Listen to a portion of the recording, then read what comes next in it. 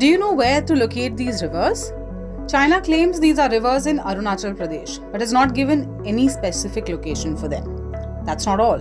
China has released a list of standardized geographical names for 11 places in Arunachal, which have turned out to be a random naming of isolated forest tracts, nondescript peaks, non existent rivers, and town areas.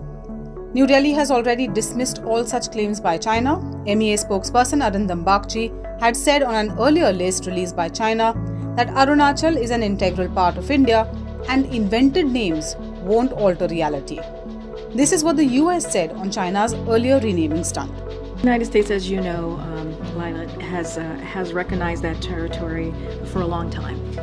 And uh, we strongly oppose any unilateral attempts to advance uh, territorial claims by renaming uh, localities. Uh, and so, uh, again, this is something that we have long stood by.